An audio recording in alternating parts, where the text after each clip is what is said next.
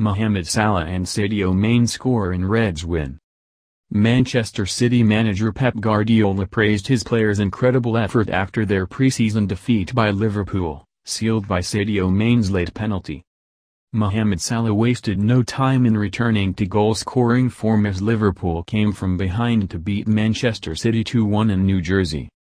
The Egypt forward, who scored 44 goals in 52 games for the Reds last season, equalized Leroy Sané's second-half goal barely a minute after coming on as a substitute in front of a 52,000 crowd.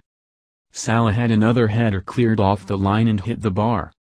Sadio Mane's injury time penalty won the International Champions Cup match. Salah and Senegal forward Mane were both playing for the first time since their countries were knocked out of the World Cup at the group stage. City's Bernardo Silva, whose Portugal side went out at the last 16 stage, made his first preseason appearance, but the Blues are still without 15 other players who were on duty in Russia. It is incredible what we have done with the players we have for 75 minutes against the Champions League finalists, said City boss Pep Guardiola after the game. Manchester City's new signing Riyad Mahrez, left, was in action against Liverpool. Lukas Nmecha went close for City and Curtis Jones might have won a penalty for Liverpool before the break. The action livened up after after Mane, wearing the number 10 shirt he has been given for the new season, and Sane were introduced.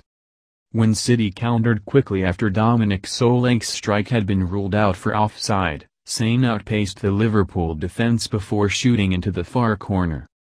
Salah equalised virtually straight after he replaced Jones, heading Rafa Camacho's cross in after being left unmarked. Mane won it from the spot after Solanke had been fouled. The game was played on a poor pitch in a stadium which had hosted a Taylor Swift pop concert at the weekend. Liverpool manager Jurgen Klopp said, I was not worried about the pitch, I was more worried for the pitch, we killed it completely.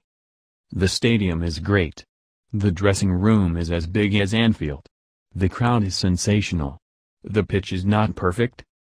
Manchester City boss Pep Guardiola, left shakes hands with Liverpool manager Jurgen Klopp. Now